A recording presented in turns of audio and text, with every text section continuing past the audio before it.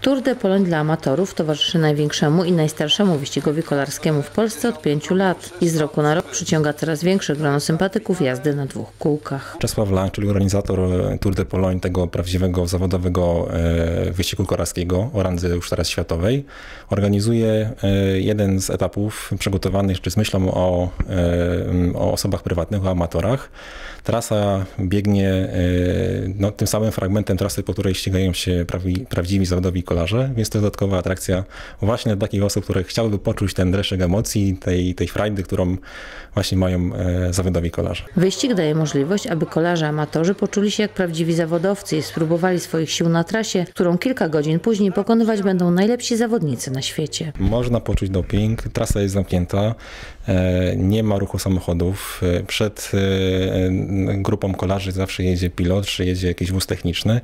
Są też wozy techniczne, które potrafią pomóc kolarzom, jeśli mam jakiś defekt, nie wiem, wymienić oponę, czy wymienić całe koło.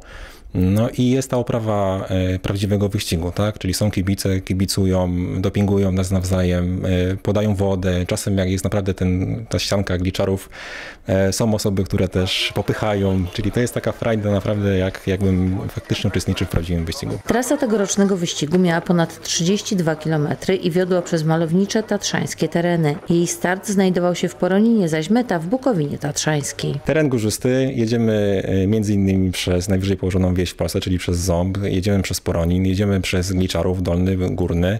To jest ta, ten fragment chyba najbardziej wymagający na trasie.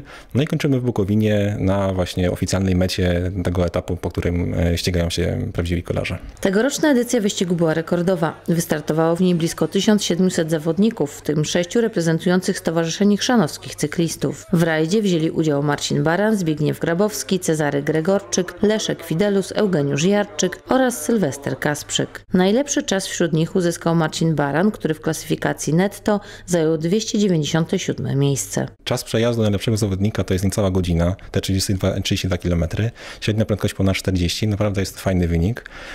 Mnie udało się niecałe 30 km na godzinę e, tej średniej prędkości wykręcić. Okazało się, że w ramach stowarzyszenia jest to faktycznie najlepszy czas. W Tour de Pologne amatorów może wystartować każdy chętny, ale by osiągnąć tak dobry czas jak choćby pan Marcin, należy regularnie trenować. Trzeba mieć odrobinę e, przygotowania.